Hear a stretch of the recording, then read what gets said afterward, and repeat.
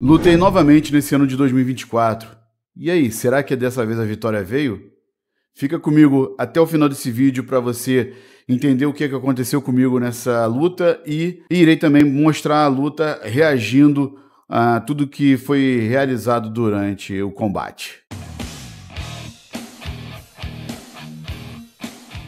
Fala camaradas, tranquilo? Daniel Abreu, de volta aqui pro canal Dieta de Guerra Jiu-Jitsu. Agora tô me considerando um atleta master de Jiu-Jitsu, né?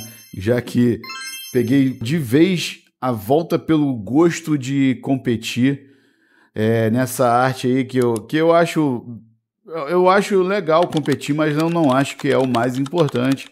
A gente precisa realmente é, no jiu-jitsu ter mais a consciência da, da arte marcial, ter mais a, a que, saber se preocupar também com a essência que é a defesa pessoal.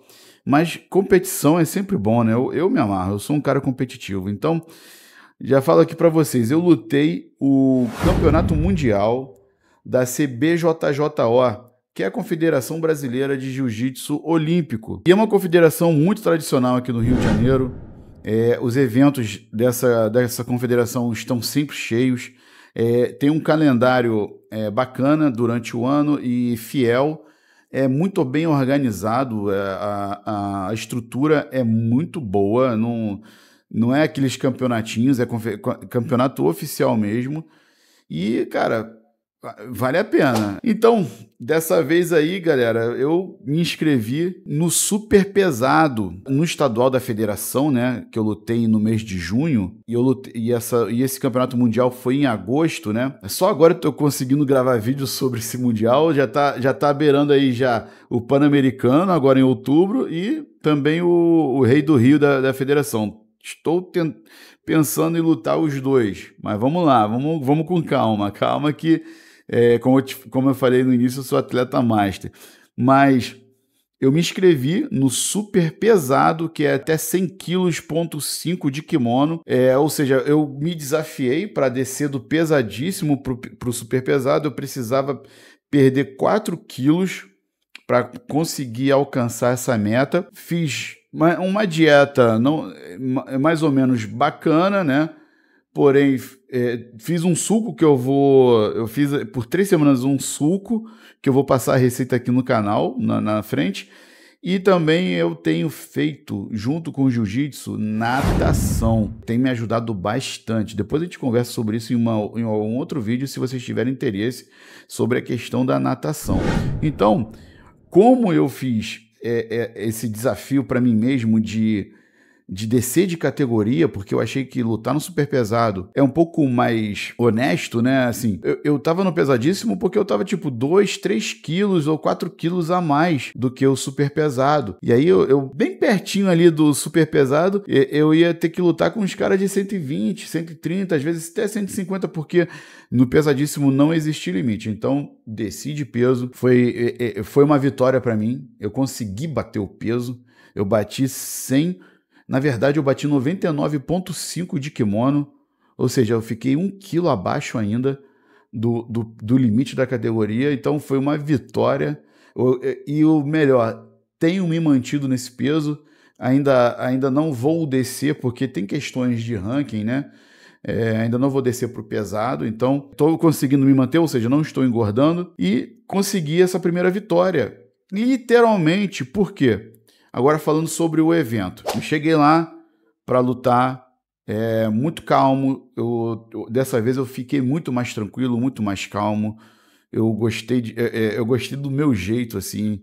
É, é claro que sempre tem aquele frio na barriga, é, que você entra no, no, nos campeonatos, não sei se quem está assistindo aqui tem essa mesma percepção de toda vez que você olha para um cara lá e ver um, é o cara mais feio, assim, mais feio que eu falo, assim, com aquela cara mesmo de, de mal, lutador, todo, todo rasgado, né, de, de músculo tatuado, fazia, ih, cara, esse cara é super pesado, caraca, eu vou lutar com esse maluco, não sei o que. Mas é claro que isso é momentâneo, eu me concentrei bastante para a luta, fiquei bem na minha. E quando chamou minha categoria, eu não consegui uma faixa roxa nova, né? Eu tenho a minha de treino que já tem oito anos, a minha faixa, então ela tá bem surrada e quase não consegui lutar, cara. a organização foi bem, bem criteriosa nesse sentido. O cara falou assim: olha, arruma uma outra faixa aí que essa aqui não dá para você lutar, não, cara. Tá muito puída, tá dando para ver o EVA dela. Então eu quase fui impedido de lutar. Consegui com um rapaz lá. Muito maneiro, o moleque me emprestou, é moleque mesmo, acho que é adulto, me emprestou a faixa dele, lutei com a faixa dele, depois eu devolvi, agradeci, disse que me deu sorte, falei, ó, vou pegar para mim essa faixa, hein? Mas enfim, consegui a, a faixa e na hora que me encaminhei para o aquecimento, a minha categoria foi logo chamada. Foi muito rápido, acho que não, ficou, não fiquei nem 10, 10 minutos aquecendo. Na minha categoria tinha quatro atletas, ou seja, estava dando semifinal, né? Semifinal, quatro atletas. Ficou dois de um lado, dois do outro, semifinal. Quem ganhasse a primeira luta ia direto para final. O atleta que estava na minha chave, ele não bateu peso. Ele estava 200 ou 300 gramas acima do limite da categoria. Pô, galera, eu fico eu fico chateado. Por mim eu lutaria, mas eu não acho justo, eu não acho correto. Eu fiz dieta, eu fiz maior esforço para poder estar tá no peso da categoria. E independente de ser 200, 300 gramas a mais, eu não tenho culpa. Eu não tenho culpa. Se fosse, eu, eu já fiquei também de fora de um campeonato é, que eu me inscrevi na época para os médios eu estava 300 gramas acima da categoria. O que, que o cara me sugeriu do campeonato? Se inscreve no absoluto para você não perder a sua inscrição, para você não perder viagem, que na época eu morava em Juiz de Fora e vinha, vinha lutar aqui no Rio de Janeiro. Então foi o que eu fiz. Eu, eu, eu, eu me inscrevi no absoluto, ganhei a primeira luta, fui para a final e na final eu perdi. Fui vice-campeão absoluto, olha só. que interessante. Foi uma medalhinhazinha, uma medalhazinha bacana na época de faixa azul. Então, é, nessa questão aí, o rapaz foi desclassificado e eu passei direto para a final. É, ou seja, a, o esforço que eu fiz todo pré-luta valeu a pena. Foi a minha primeira vitória. Fui direto para a final, né? E aí vou mostrar para vocês aqui, em primeira mão, a, a luta completa da final do super pesado Master 3 faixa roxa do Campeonato Mundial da CBJJO. Então, camaradas, seguindo aqui com o vídeo, eu vou soltar aqui para vocês a luta é, da final do Master 3, né? Faixa roxa super pesado do Campeonato Mundial da CBJJO.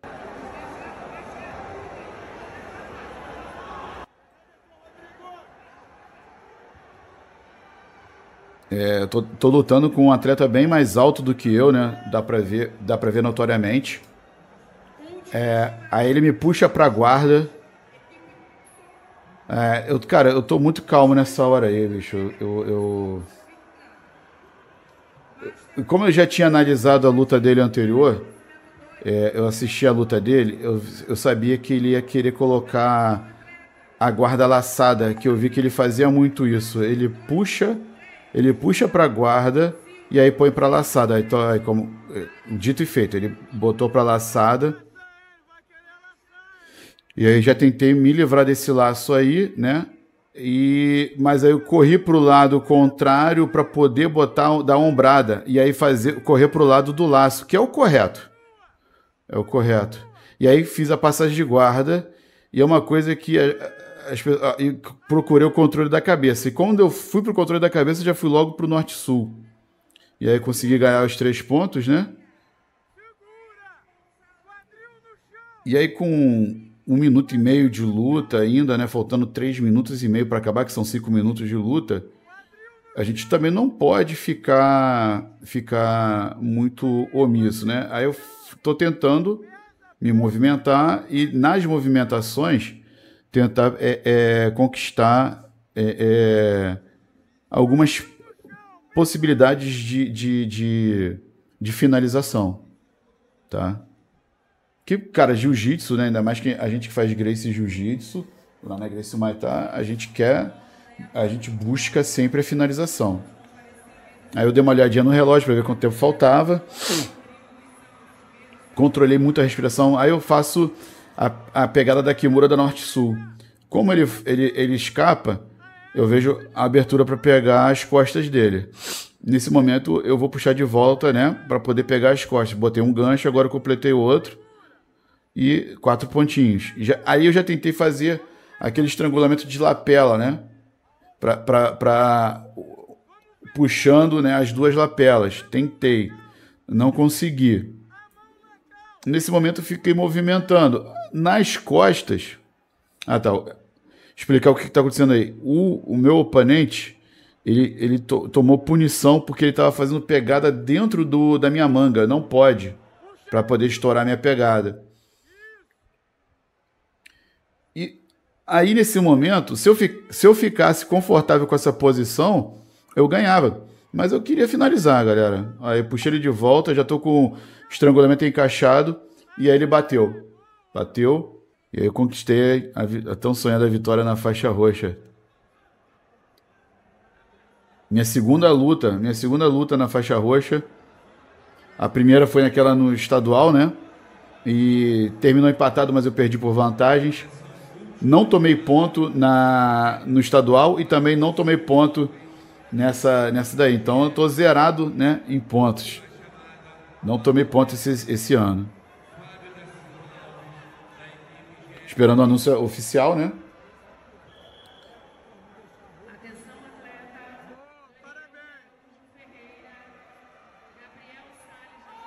Aí, vitória. É, esse atleta aí, ele é da GF Team, né? E ele tinha sido campeão no Internacional de Masters da IBJJF, que foi uma ou duas semanas antes desse campeonato mundial aí da CBJJO. Voltando aqui, camaradas, é, vocês viram aí a luta. Eu lutei com um atleta chamado Rodrigo, da GF Team ele tinha sido campeão do Internacional de Masters, ou seja, lutei contra um cara duro, um cara campeão. E na minha segunda luta aí na faixa roxa, né?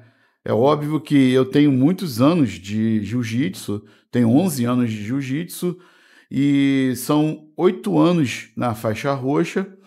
Porém, de, dentro desses oito anos eu fiquei quatro anos parado. E aí tá aqui, ó, para vocês verem aqui a tão sonhada medalha. Que medalha bonita, cara. Eu, quando eu fui campeão, né? No final de semana que eu fui campeão, é, eu fiquei o final de semana inteiro com ela. É muito gostoso. Essa sensação aqui é muito boa, é muito gostosa. Eu fiquei realmente, saí para jantar, para comemorar. É, não, no sábado eu fiquei em casa, né? Assim que a luta foi no sábado.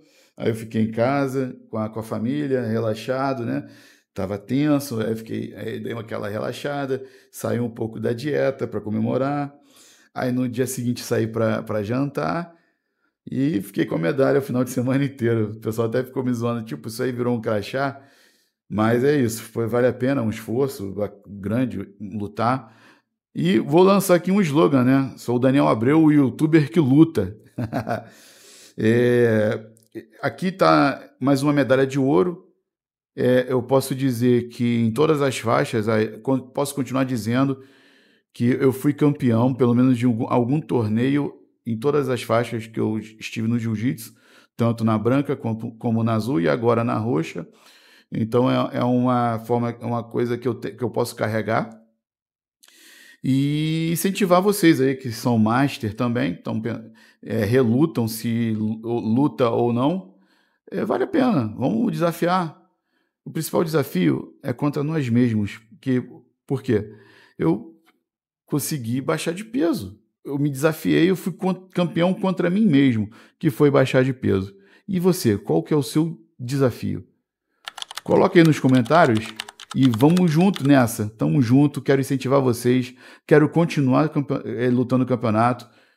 É, vejo vocês no próximo campeonato. Espero que todos torçam por mim, que me acompanhem lá no arroba Dieta de Guerra JJ no Instagram, que eu estou sempre lançando lá é, a minha rotina de treinos nos stories. De vez em quando eu boto, boto no, no feed, mas é mais nos stories e me acompanhar também é, para poder ver se eu vou lutar ou não e como que vai, eu vou me sair nos campeonatos. Se você assistiu esse vídeo até esse ponto, eu agradeço muito. Espero ver vocês no próximo vídeo. Eu espero que a frequência de vídeos aumente aqui e que a gente continue trilhando esse caminho de sucesso. Ah, e agradecer, são, porque somos 25 mil inscritos aqui no canal Dieta de Guerra. Isso quer dizer muita coisa para mim. 25 mil inscritos não é, não é pouca coisa. São oito anos nessa batalha aqui no YouTube. É, não ganho. Eu, o que eu ganho aqui no YouTube é irrisório para o trabalho que eu tenho, mas eu faço isso aqui porque eu sou um cara apaixonado pelo jiu-jitsu brasileiro. Conto com vocês, um grande abraço a todos, sejam saudáveis. Aloha!